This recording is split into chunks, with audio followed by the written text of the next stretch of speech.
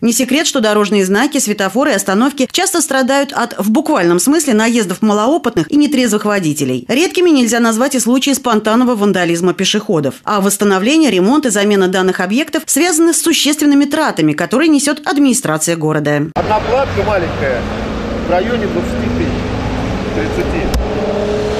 А сгорает полностью весь контроль. Вот представьте, там на каждый канал своя плата.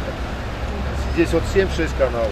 Фактов повреждения электронных систем и нарушения целостности конструкции объектов дорожно-транспортного хозяйства за последнее время выявлено немало. Хотя внешний вид тех же остановок чаще портят бесчисленные объявления, рекламные листовки и грубые надписи.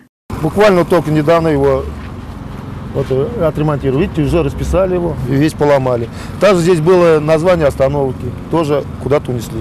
Самые проблемные у нас в принципе, все. Вот старые остановки, которые металлические, которые деревянные, к ним как-то не так. От которых поставили новые, которые лицо города, как говорится. Их ломают. За последнее время в городе было установлено 28 автобусных павильонов, в том числе облегченного типа. Изготовление и установка одной остановки обходится в 30 тысяч рублей. Сумма ремонта варьирует от 1 до 30 тысяч рублей при необходимости полной ее замены. В соответствии с муниципальным контрактом на содержание знакового светофорного хозяйства и автобусных павильонов э, на территории города Бузулука на э, год, год заложена сумма 2 миллиона 550 тысяч рублей. На содержании находится 1900 дорожных знаков, 29 светофорных объектов и порядка 140 автобусных павильонов. На текущий момент из заложенных средств освоен 1 миллион 300 тысяч рублей. Данные ремонтно-восстановительные работы проводятся по мере необходимости. Кроме того, ведется установка новых объектов дорожно-транспортного хозяйства. Задача какая непосредственно?